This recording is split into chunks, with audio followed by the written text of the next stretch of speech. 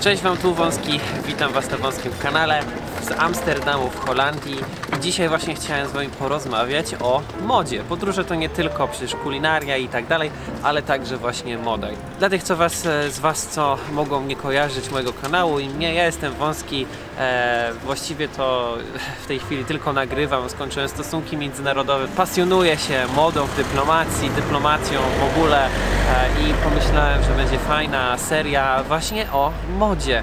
Przecież podróże, international relations, stosunki międzynarodowe to właśnie także moda. Nie przedłużając, zapraszam Was na odcinek.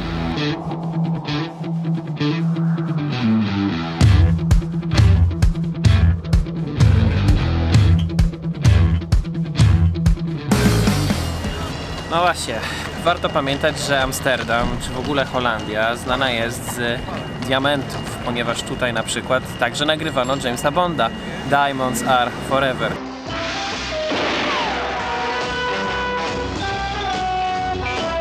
Diamonds are forever, czyli to co dziewczyny lubią najbardziej. Diamenty, a nie tulipany. Pod koniec XIX wieku, gdy odkryto złoża diamentów w południowej Afryce, to miasto rozsynęło, rozsłynęło właśnie e, dzięki nim, ponieważ to tutaj byli najlepsi, najlepsi jubilerzy właśnie w Amsterdamie. A tutaj rodziną, która się trzymała byli De Beers, no i oczywiście Rothschildowie, którzy razem mieli e, dużą, dużą część rynku diamentów na świecie.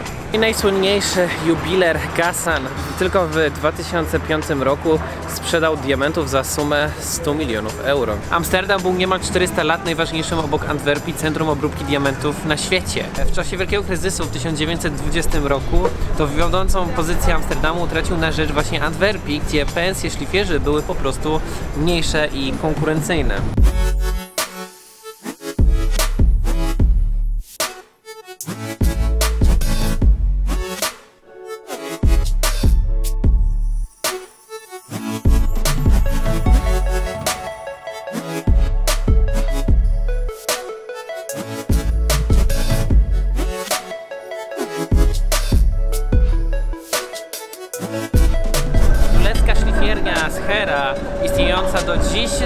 W 1907 roku, gdy król Edward VIII, brytyjski król Edward VIII, zlecił im cięcie Kulinana, największy diament, jaki e, odkryto wtedy, e, znaleziony w 1905 roku e, w e, południowej Afryce, który liczył sobie 3106 karatów.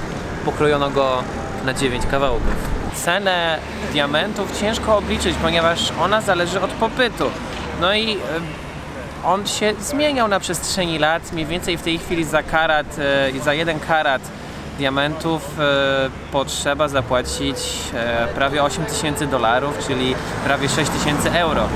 No a liczy się diamenty w karatach, ponieważ e, 1 karat to są 0,2 grama, więc 1 gram to jest 5 karatów. Wartość diamentów szacuje się według 4C po angielsku. Cut, Clarity, Karat, Color. No właśnie, ale jaka jest prawdziwa wartość diamentów, o której mógł nie wiedzieć wąski z przeszłości? Otóż, moi drodzy, na większą skalę zaczęto wydobywać diamenty w połowie XIX wieku, kiedy to odkryto złoża w Afryce. Większość z nich wtedy, e, tych kopalni, należało do braci Debers, ale oczywiście do wspomnianego wcześniej Rockefellera, wokół którego jest wiele teorii spiskowych po dzień dzisiejszy.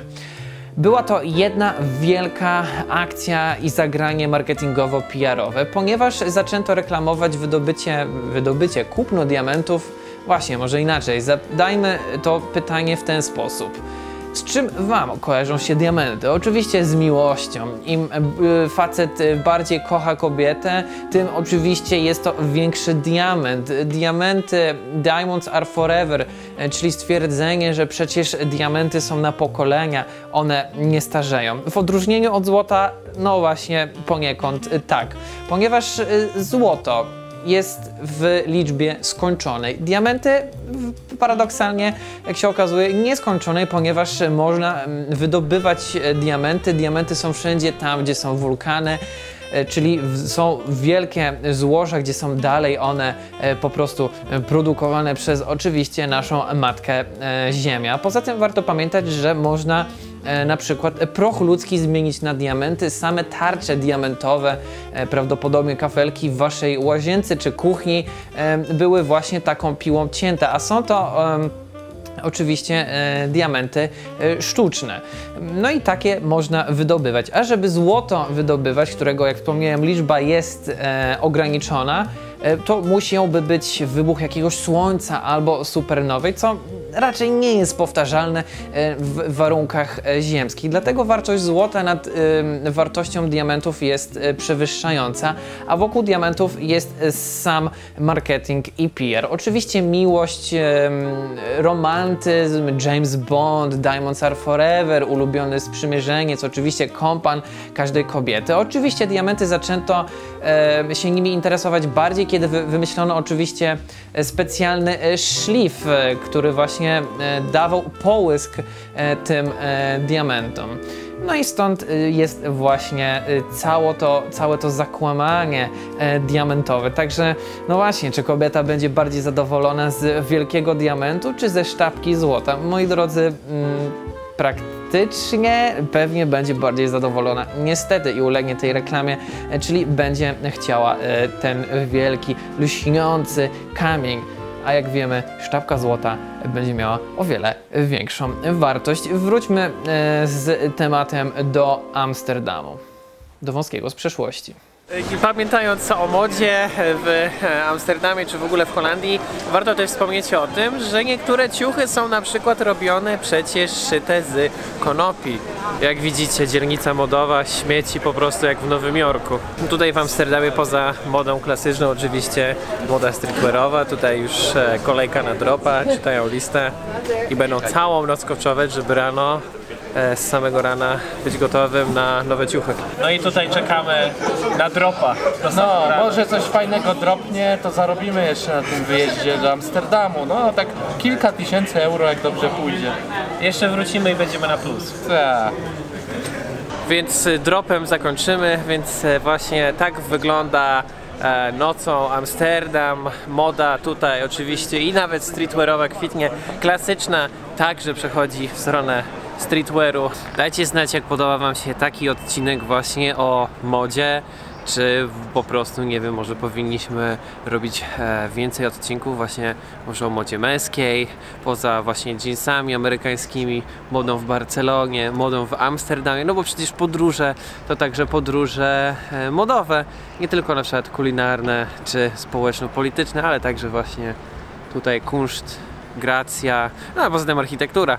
E, więc dajcie znać, co myślicie na temat tej serii i co chcielibyście zobaczyć w następnym odcinku. Czy chcielibyście na przykład zobaczyć jakichś e, gości, profesjonalistów, e, którzy no, wystąpią, opowiedzą coś ciekawego, jakąś historię, czy coś nam po prostu pokażą. Z Amsterdamu w Holandii wąski, wąski kanał.